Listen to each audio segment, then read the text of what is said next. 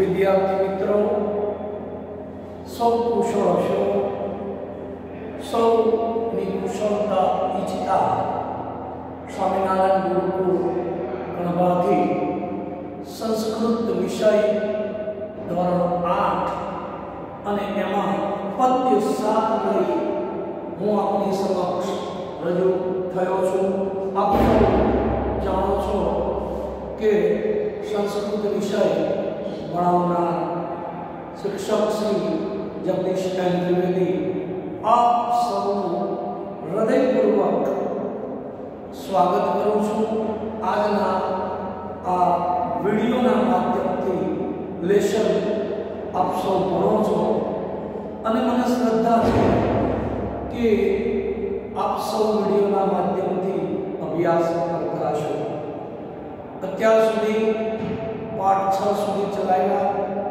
એના પછી પદ્ય સાત એકમ એક આપના સમક્ષ રજૂ કર્યું હતું આજે ફરી એક વખત એકમ બે પદ્ય સાતનું લઈ આપણે આગળ વધવાના છીએ તો સૌપ્રથમ દરેક વિદ્યાર્થી પોતાનું પુસ્તક ખોલે અને પુસ્તકની અંદર પાના નંબર ચોવીસ પર આજે શ્લોકો આપ્યા છે.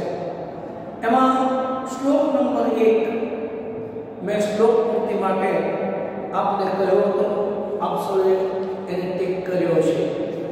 ત્યાર પછી શ્લોક નંબર ચાર આપણ તમારે ટીક કરવાનું છે, શ્લોક પૂર્તિ માટે પૂછાય છે. અને એ પછી શ્લોક નંબર છ પણ આઈએમપી છે, કારણ કે એ પણ ક્યારેક શ્લોક પૂર્તિમાં પૂછાતો હોય છે. તો પહેલા જે શ્લોક નંબર એક, બે ને ત્રણ આપણે જોયા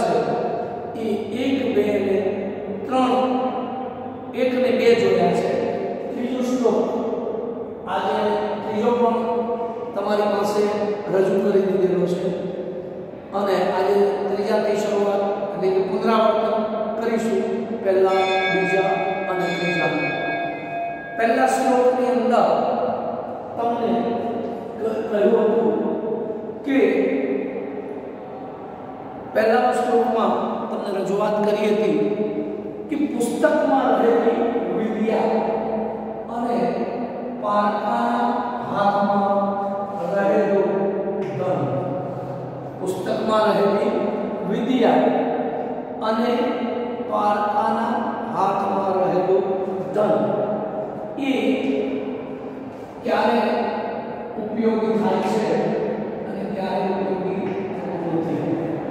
તો પુસ્તકમાં રહેલી વિદ્યા અને પારકાના હાથમાં ધન ધન રહ્યું હોય એ સમય પડે એ વિદ્યા અને ધન કામ લાગેલી એટલે કે વિદ્યા પુસ્તકમાં હોય એ નહીં પણ મોઢે હોય એટલે કે વિદ્યા આવડે પણ જો પુસ્તકમાં જ રહી જાય તો એ વિદ્યા કામ લાગે નહીં ધન બીજાના હાથમાં હોય તો કામ લાગે નહીં. પહેલા શ્લોકની વાત કરી હતી બીજા શ્લોકના અંદર આપણે વાત કરી હતી, વૃક્ષો નો ફેલાવો મહાન છે. વૃક્ષો એ ફળે છે, ફૂલે છે અને વૃક્ષની આવશ્યકતા શું છે એ આપણે બીજા શ્લોકમાં વાત કરી હતી. હવે ત્રીજા શ્લોકથી આપણે આગળ વધીએ તો ત્રીજા શબ્દ તેના લખ્યા છે. ન કિંચિત કશ્યચિત મિત્ર, ન કિંચિત કશ્યચિત રિપુ તો ન કિંચિત કિંચિત એટલે કોઈ અને કશ્યચિત એટલે કોઈનો. મિત્ર એટલે મિત્ર અને રિપુ એટલે દુશ્મન.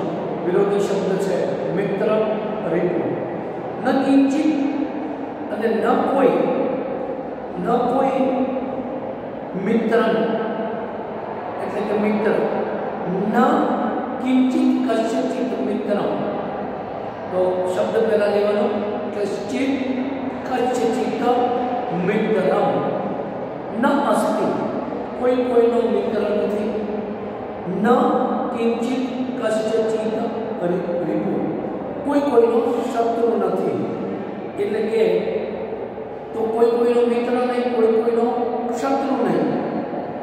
બીજી લીટીમાં કીધું વ્યવહારાય જાયતે મિત્રાણી રિપવસ તથા વ્યવહારેણ વ્યવહારેણ મિત્રાણી તથા રિપવ રિપુ તો વ્યવહારેણ મિત્રાણી તથા રિપવ જાયંતે જાયંતે થાય છે વ્યવહારેણ શબ્દ આવડેલો છે વ્યવહારથી અથવા તો જરૂરિયાતથી વ્યવહારથી એ વ્યવહાર વડે વ્યવહારથી મિત્ર અને શત્રુઓ થાય છે અથવા તો ઉત્પન્ન થાય છે.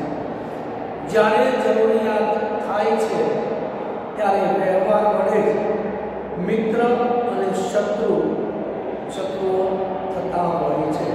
એટલે કે જ્યાં સુધી વ્યવહાર નથી, જરૂરિયાત નથી, ત્યાં સુધી કોઈ કોઈનો મિત્ર નથી કોઈ કોઈનો શત્રુ નથી મિત્ર પણ શત્રુ થઈ જાય શત્રુ પણ મિત્ર થઈ જાય ક્યારે તો કે વ્યવહારે જાય જ્યારે જરૂરિયાત ઊભી થાય ત્યારે આ ત્રીજા શ્લોકમાં કહ્યું હવે ચોથા શ્લોકની અંદર શ્લોકો પહેલાં હું દાન કરું છું તમે જરા સાંભળો છો પીબંતિ નદ્ય સ્વયં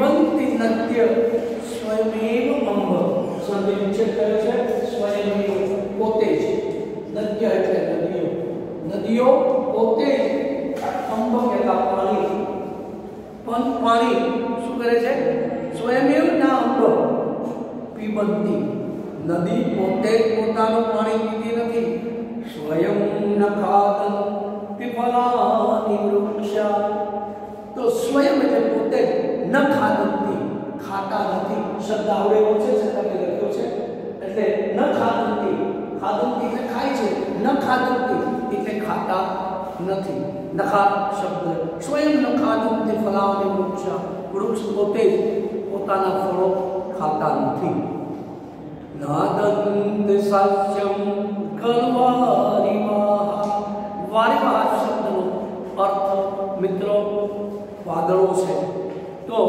વાદળો પોતે નાદંતી ન અદંતી સસ્ય સસ્ય કહેતા અનાજ લખ્યો છે મિશ્ર સસ્ય અનાજ વાદળો પોતે જ પોતાનું અનાજ ખાતા નથી નાદંતી સસ્ય કલવારીમાં પરોપકારાય સત્તા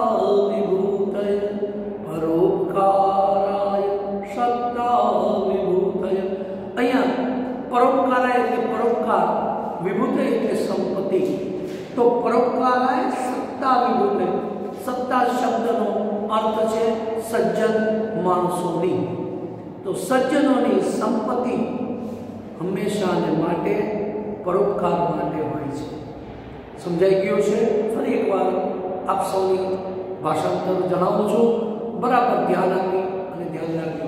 નદીઓ પોતે જ પોતાનું પાણી પીતી નથી. વૃક્ષો પોતે જ પોતાના ફળો ખાતા નથી. વાદળ ખરેખર પોતે ઉગાડેલું ધાન્ય પોતે ખાતા નથી. સજ્જનોની સંપત્તિ પરોપકાર માટે હોય છે. પાંચમો શ્લોક. ફરી એકવાર ગાન સાથે આપના સમક્ષ રજૂ કરું છું. બરાબર ધ્યાન આપજો. કયા શબ્દનો અર્થ કયો થાય છે? ગાન કેવી રીતે થાય છે? કારણ કે ચોથો શ્લોક મેં તમને ટીક કરાયો. આ શ્લોક શ્લોક પૂર્તિ માટે છે. પાંચમો શ્લોક, દરરોજ સ્નાન કરીએ. એટલે સ્નાન કરતી વખતે જો સાત પવિત્ર નદીઓનું આપણે કેવળ સ્મરણ કરીએ અને સ્મરણ કરીને સ્નાન કરીએ, તો પણ આપણું જીવન ધન્ય થઈ જાય. એ સાત નદીઓના નામ અહીં આપ્યા છે. હું ગાઉં છું, તમે સાંભળજો. ગંગા सिंधु सरस्वती च गोदावरी नर्मदा। कावेरी सरयू महेंद्र तनया। चर्मणवती वेदिका। चर्मणवती वेदिका। क्षिप्रा वेदवती महा महासुरना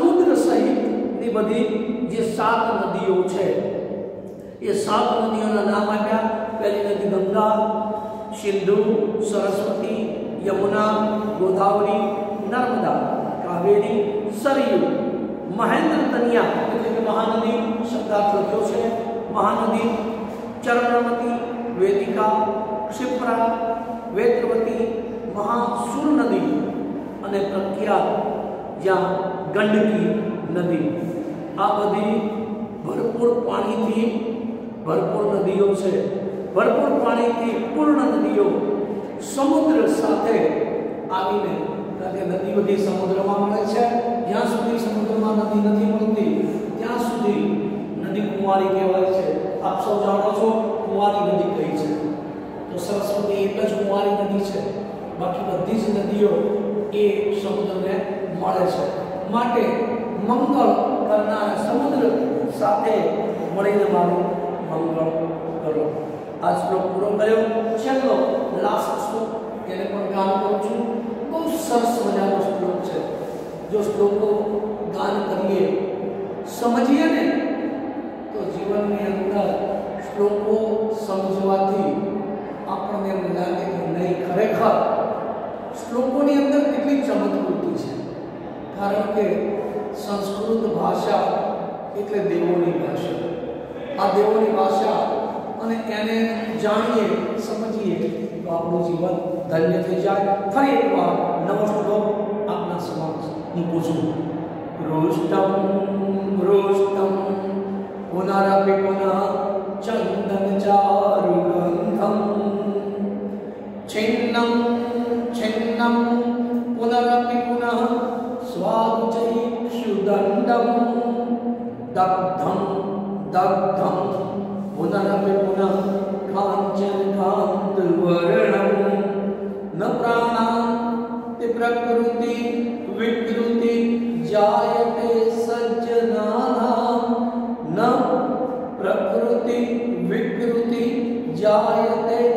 સજ્જનાનામ એટલી સરસ વાત કરી ન પ્રકૃતિ વિકૃતિ જાયતે સજ્જનાના સજ્જન માણસ સજ્જન માણસની પ્રકૃતિમાં ક્યારે વિકૃતિ આવતી નથી સુકરવા નથી આવતી એના માટેના ઉદાહરણ આપો કે ગૃષ્ટમ ગૃષ્ટમ પુનરપી ચંદન ચારુ પુંતમ ઘસી ઘસી ઘસી ઘસીને ચંદનને ગમે તેટલું ઘસો ને તો પણ ચંદનનો સ્વભાવ છે શીતળતા આપવાની માટે ચંદન શીતળતા આપે આપણને આપે ગમે તેટલું ઘસી નાખો એમ સજ્જનને ગમે તેટલો પરેશાન કરો પણ પોતાની સુગંધ આપવાનું સજ્જન છોડતો નથી એનું નામ સજ્જન વિરોધી શબ્દ જાણો છો દુર્જન દુર્જન માણસ કેવો હોય દેખાવે સરસ મજાના કપડાં પહેર્યા હોય પણ પેટમાં તો એટલું બધું પાપ ભર્યું હોય કે કોકનું નુકસાન કરવું હોય કોકને પરેશાન કરવો હોય તો દુર્જન તરત જ સમય મળે તો દુર્જન નિરંતર દેખાડ્યા વગર ન રહે ત્યાર પછી બીજો શબ્દ કીધો છિન્નમ છિન્નમ પુનરપી પુનશ્ચંદન સ્વાદ છે ઇક્ષુ દંડમ શબ્દાર્થ લખ્યો છે ઇક્ષુ દંડમ શેરડીનો સાંઠો શેરડીના સાંઠાને વારંવાર કાપવામાં આવે તો પણ શું મિત્રો એ મીઠાશ છોડી દે ના એ મીઠાશ છોડે નહીં એનો સ્વભાવ જ છે મીઠાશ આપવાની શેરડીના શાકાને ગમે તેટલા ટુકડા કરો ફોલીને ખાઓ. તો શું ટુકડા કરવાથી એમાં અમૃતની જગ્યાએ, મીઠાશની જગ્યાએ કડવાશ આવે? ન એ પ્રમાણે છેલ્લું કીધું દગ્ધમ દગ્ધમ પુનરપી પુનઃ કાંચન વર્ણમ કાંચન કહેતા સોનું. સોનાને ગમે તેટલું તપાવો. સોનીને તમે જોયો છે મારી મારીને સોની આને તપાવે છે. તપાવ્યા પછી પણ એનું કામ તપે તો પણ ચળકાટ સોનું છે ને સોના જેવી બીજી ચળકાટ આપતી અનેક વસ્તુઓ હોય ચળકાટ આપે પણ શું થાય આખરમાં સોનું એ સોનું છે અને કથિત તે કથિત છે માટે સોનું ગમે તેટલું તપે તો પણ પોતાનો રંગ છોડતું નથી એ પ્રમાણે સજ્જન માણસ ગમે તેટલી પરિસ્થિતિ આવે તો પણ પોતે પોતાનો સ્વભાવ છોડતો નથી આ છ શ્લોક નંબર ત્રણ ચાર પાંચ અને છ તમારી સામે શબ્દાર્થ લખ્યા છે લખી લેજો પદ્ય વિભાગમાં ભાષાંતર લખજો લખ્યા પછી શ્લોક ગાન કરજો ગાન કર્યા પછી રફ નોટની અંદર બે વખત લખી અને ત્યાર પછી આ તમારું ઘરકામ વિડીયોમાં બતાવવાનું છે और सूचना साहब आप और मारे सु जो मारे सु तो वर्ष पूर्व अने तमारे सु परिणाम सु आप जो परिमणि शिखर सुख